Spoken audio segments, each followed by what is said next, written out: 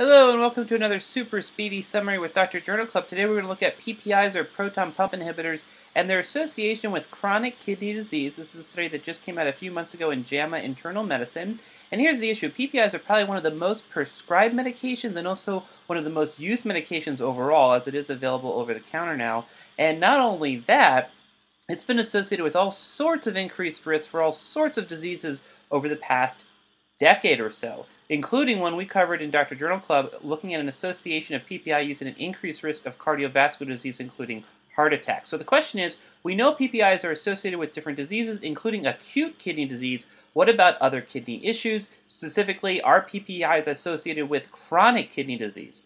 This is what they found. Yes, indeed. In this observational study, they found a 50% increased risk of developing chronic kidney disease if you were using PPIs. This risk was not seen with other drugs used for similar conditions such as H2 blockers. To learn more, go ahead and watch our basic, in-depth, and master level videos on this and other topics.